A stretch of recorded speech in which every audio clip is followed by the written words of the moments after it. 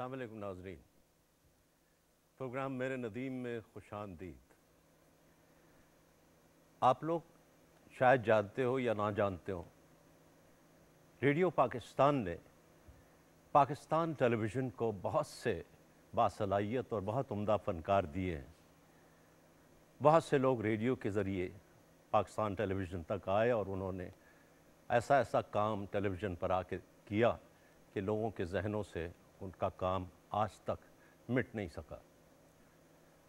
जहाँ बहुत से बासलाहियत फ़नकार टेलीविज़न पर आए रेडियो से, वहाँ एक नाम ऐसा है जो न सिर्फ़ बहुत ही बासलाहियत, बल्कि मैं यूँ कहूँगा कि बहुत ही जहीन फ़नकारा जी हाँ आज की मेरी पहली मेहमान, जिन्हें मैं बुलाने लगा हूँ, बहुत उम्दा परफॉर्मर हैं, बहुत सीरियस में काम किया है, फहरिस्त इतनी लंबी है कि अगर मैं यहाँ गिनवाने लगूँ तो सारा वक्त उसी में निकल जाएगा। जी हाँ आज मैं बुला रहा हूँ अपने प्रोग्राम में हमारी पहली मेहमान जहीन ताहरा साहिबा।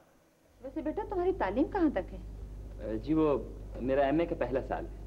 माशाल्लाह बड़े होनहार हो। पहले मालूम नहीं था। ये तो सिर्फ़ बात सारे को बताई थी पहले। हज़ार दफ़ा मैंने उसे समझाया कि देख सरे शाम मेरा पानदान जो लाके तखत पे रख दिया कर। मगर दे जो सुन ले। अरे कम वक्त ये फपून लगी डबल रोटी क्यों सेक रहा है? ये ब्राउन ब्रेड है जी साहब के लिए। आए? क्या है?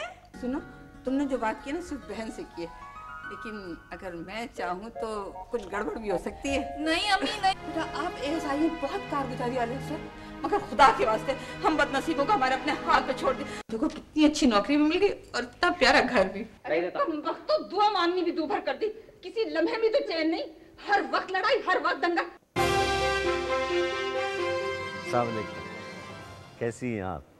मैं तो बहुत अच्छी हूँ। आप कैसे हैं? आपकी दुआ माशाल्लाह। शुक्र है और बहुत अच्छा लग रहा है आपको हमारे प्रोग्राम में देखकर। और मैं तो यकीन माने मेरी आज खुशी की इंतहा नहीं है। कि फ़िल्मों में तो आपके साथ काम करने का मौका नहीं मिला जो कि जवानी में बड़ा शौक था। अब माशाल्लाह आपके साथ खड़े होकर यहाँ बातें करेंगे। वैसे सीरियल में तो हम काम कर चुके हैं आपके जी साथ। जी जी और बहुत से बातें बातें आपसे होंगी हमारे नाजरीन बहुत कुछ आपसे लेकिन मुझे बहुत- बहुत खुशी हो रही।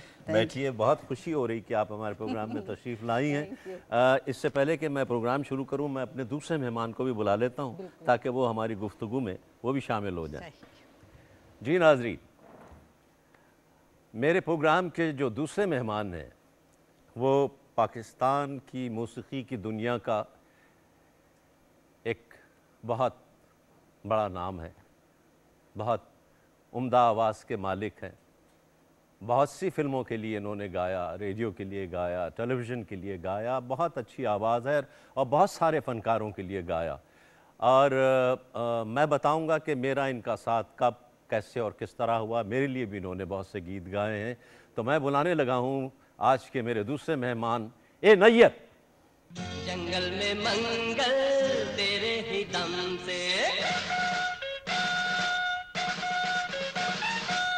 जंगल में मंगल तेरे ही दम से। सबने ये शोर मचाया है। सालगिरह का दिन का दिन आया है। कानों में क्या है?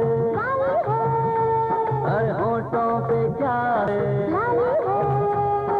बगिया में कौन है? माली है। हर माली के संग कौन है?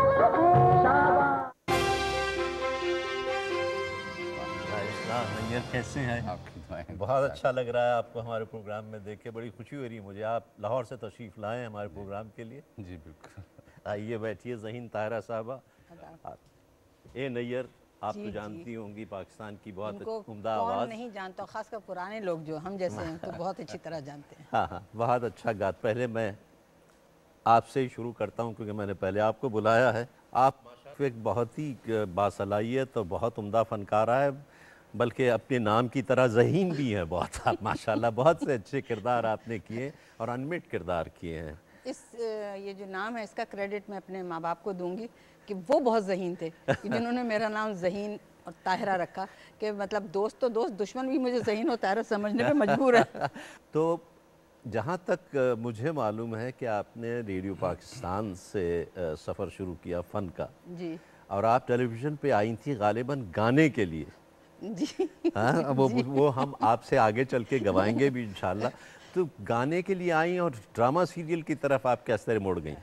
नदीम भाई गाने का तो मुझे बचपन से बहुत शौक था। अच्छा। उसका एक किस्सा भी मैं आपको सुनाती हूँ बहुत मज़े का है कि पिक्चर देखने का बड़ा शौक था। इंडियन मूवीज़ उस जमाने में फिफ्टीज़ में लगा हाँ, हाँ, करती हमारे थी यहाँ लगती थी क्या, ए- जी हाँ। एक दूसरे तो के एक सामने पिक्चर चलती थी वो। घुंघरू की पिक्चर आई थी मैं हाँ। वो देख के उसमें एक गाना था मैं अपने दिल का अफसाना सुना लूँ फिर चले जाना अच्छा। ये एक छोटी सी हसरत है मिटा लूँ फिर चले अच्छा, जाना अच्छा। और बहुत खूबसूरत गाना था हाँ। वो हाँ, और चूँकि मुझे शौक था हाँ। तो वो गाना मैं सुन के आई और वो मैं अ, मतलब उसको दोहरा रही थी ऐसी गा रही थी सेहन में एक पलंग पड़ा हुआ था उसके ऊपर मेरी वालदा और उनके भांजे हसीन भाई नाम उनका वो दोनों बैठे बातें कर और मैं दूसरे पलंग पे बैठी हुई गाना गा रही हूँ मैं अपने दिल का अफसाना सुना लूँ फिर चले जाना। ये एक छोटी सी हसरत है मिटा लूँ फिर चले फिर जाना। चले जाना। अब मैं गा रही हूँ मैं अपनी मगन हूँ। अच्छा। देख नहीं रही हूँ क्या हो रहा। है अच्छा। थोड़ी देर के बाद मेरी नज़र अम्मी पे पड़ी तो मुझे कुछ वो थोड़ी गुस्से में लगी। बाहर उसी वक्त हसीन भाई उठ के चले गए। आए थे मेरे कज़न थे वो। उसके बाद अम्मी वहाँ से फ़ौरन उठी उन्होंने आ- पक- मैं छोटी उस ज़माने में बात उन्होंने यूँ मेरे बाल पकड़े दिल का अफसाना सुना पटाख दिल का अफसाना पटाख मेरी वो पिटाई हुई ना उस दिन। और मैं बहुत चक्कर रह गई मैंने कहा ये हुआ क्या? मुझे डांस का भी बड़ा बड़ा शौक था। डांस में नदीम भाई क्या होता था कि पिक्चर देख के आई ना तो ड्राइंग रूम में एक दिन एक पिक्चर थी नाम भी मुझे याद है सज़ा फ़िल्म उसमें एक गाना था हो गई रे तेरी हो गई श्यामा गारी हाँ। वो। उनको देख के आए अब अपने कमरे में गर्दन हिलाने की पहले डांस में ये करते थे अच्छा, वो वो जो करे उसके बाद वो गाना खुद भी गा रही हूँ और डांस कर रही हूँ। थोड़ी देर बाद मेरी नज़र पड़ी कि पर्दे के नीचे ना दो मुझे पाँव नज़र आए। वो फिर मेरी अम्मी कहते उन्होंने देखा और मेरी वो पिटाई की। तो गाने पे भी अम्मी ने मारा डांस पे भी अम्मी ने सारे काम आपने थप्पड़ खाने वाले हाँ, शुरू किए। तो फिर आप ड्रामे की तरफ़ कैसे आई? मेरी खुशकिस्मती है कि मैंने बड़े अच्छे अच्छे लोगों के साथ काम किया है और मुझसे उन्होंने बड़े मुश्किल मुश्किल रोल करवाए। अच्छा। बल्कि एक मैंने ड्रामा किया था शाहराह अजीम अच्छा। हमीद। कश्मीरी साहब ने लिखा था उसमें मैं अंधी फ़कीर नहीं बनी थी। अच्छा। तो वो कमर साहब बड़े मज़े से कहते थे कि मतलब ये एक सेकंड में ये अंधी बन जाती थोड़ी थोड़ी देर बाद फिर इतनी अच्छी हो जाती है तो उसमें मुझे फ़कीरनी का रोल मैंने अंधी ऐसा किया था कि बम्बीरों सिनेमा है यहाँ ले जाके इन लोगों ने मुझे बिठा दिया था भीख मांगने के लिए। और क्या कहते हैं ये हमारी भी जो थी किसी को पता नहीं लगा कि जैसे रिकॉर्डिंग हो रही तो आप यकीन माने कि उस ज़माने में ये सेवेंटीज़ की बात है मुझे एक रुपये बारह आने भीख मिली थी। अच्छा। तो देखिए ना दरअसल वाकई ये बड़ा खुशकिस्मती की बात होती कि किसी भी फनकार को पहले ही ऐसे अच्छे लोग मिले जिनके साथ काम करके वो वाकई बहुत वाकई में ये मैं समझती हूँ कि ये हमारे जो डायरेक्टर्स थे उनका कमाल है कि उन्होंने जहीन तारा को बना के बिल्कुल, बिल्कुल, हम, हम हमारे में कुछ नहीं था। बिल्कुल ये हमारे जितने भी कमर साहब को ले लें जलाली भाई को ले लें काजिम भाई को ले लें एक एक मतलब जुमले पे वो लोग तवज्जो देते थे तलफ़ुज़ पे देते थे। क्या मजाल नहीं कि हम लोगों का तलफ़ुज़ गलत हो जाए। सारे बहुत टैलेंटेड लोग। हफ़्ता हफ़्ता दस दस दिन हम लोग रिहर्सल करते थे। जब मैंने हज अकबर किया ना तो हज हज अकबर भी मतलब जब मुझे मिला तो मैंने इत्तेफाक की बात है नदीम भाई।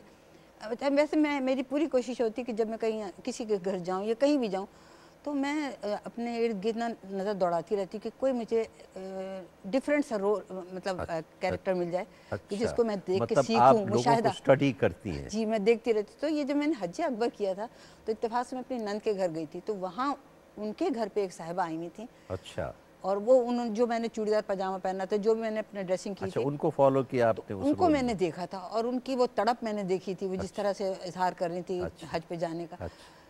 तो वो चीज़ मैंने अपने जहन में रखी थी और जब इतफाक़ से जकी अकबर साहबा ने ये लिखा और कमर आफ्ताब साहब ने उसको आपने ढाला उसको उस मैंने अपने ढाला। रोल में अच्छा। तो उसमें उसमें वो भी मैंने मतलब एक वो